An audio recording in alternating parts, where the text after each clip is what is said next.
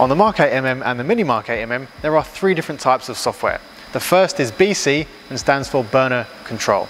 This is your safety related software and although can only be upgraded at Autoflame, you typically wouldn't need to do this. Now next you have MM. This stands for Micro Modulation and really handles the back end, all the functionality of the respective MM. Finally, you have DI. This stands for display. Now this of course is all of your graphical changes on the front end of the Mark 8 or the Mini. Now you guys would only ever need to upgrade your MM software and your DI software, all of which is done via the SD card on the Mark 8mm and the micro SD card on the Mini Mark 8mm.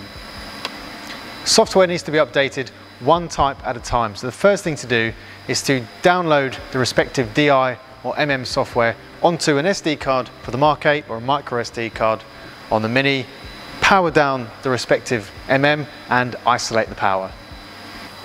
On the Mark 8mm, the SD card is located behind the two boards. So after isolating the power, you need to make sure you remove the four corner pillars using your 7mm nut spinner.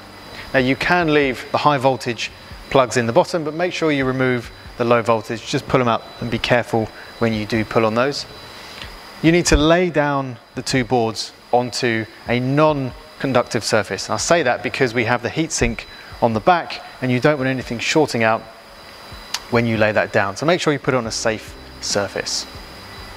You can see I've laid the boards down onto a safe surface. There's a couple of cables here connecting the two boards, so make sure you don't disconnect those. Now you can see the SD card here at the back.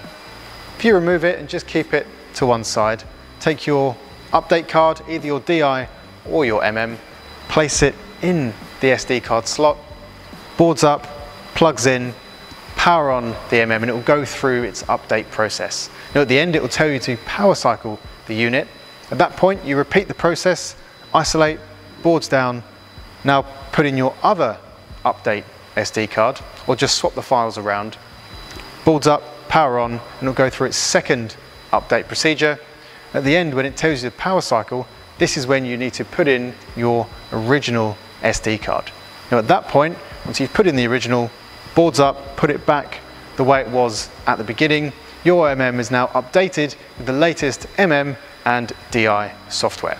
Now this process is almost identical on both the Mark 8 EGA Evo and the Mark 8 DTI.